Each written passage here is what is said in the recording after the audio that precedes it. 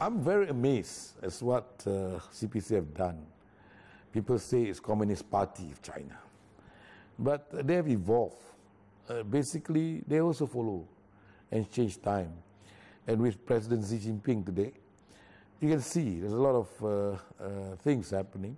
And to manage a country like China is not easy. That's why I believe China should stay as single party system.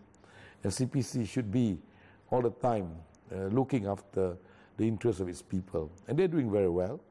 And uh, we, do, we have a very good uh, communication between UMNO and Barisan Nasional with CPC.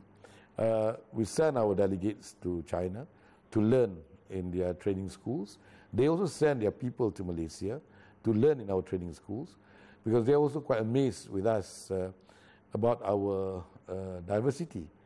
And a lot of people never realize that China itself, they've got about 50 other ethnic uh, groups in China, which they've got to look after. And of course, uh, uh, in terms of religion as well. So these are the sort of things which uh, we, we, we, we, we, combine, we learn from one another. We like to learn from CPC. Likewise, CPC also would like to learn from us. And we, come, we keep on sending our, our delegates, our people, our party members, in fact, uh, quite recently we sent a team of uh, National Front, uh, Barisan Nasional's uh, members, including all the component party.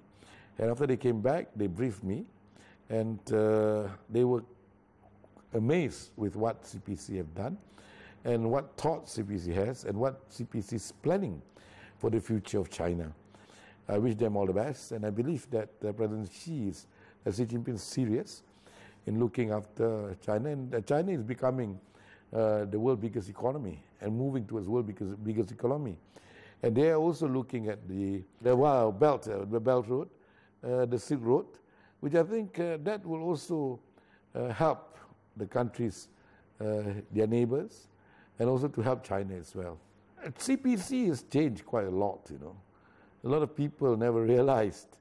I've been with them for a long time because I, was, I used to be the executive secretary of my party from 1998, and I became the secretary general of the party about eight years ago.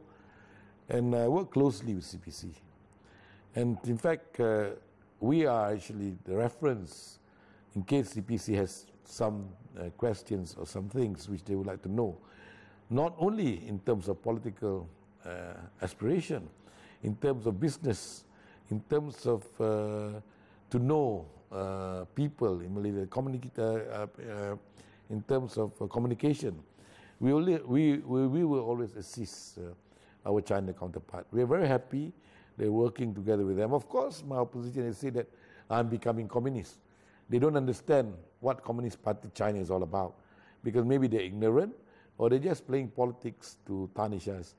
In fact, uh, we understand CPC very well, and uh, I believe that CPC is one of the model of a political party which we uh, around the world should follow. It is not uh, saying that uh, it's based on author, author, authoritarian system. No, CPC is not that way. Because if you look at what they have done so far uh, they, and what they've achieved so far, is very it's amazing. Because you know, China is a very big country. They have all, all sorts of ethnicity. You know, so this is another problem which they are facing, and yet they can still uh, keep China together.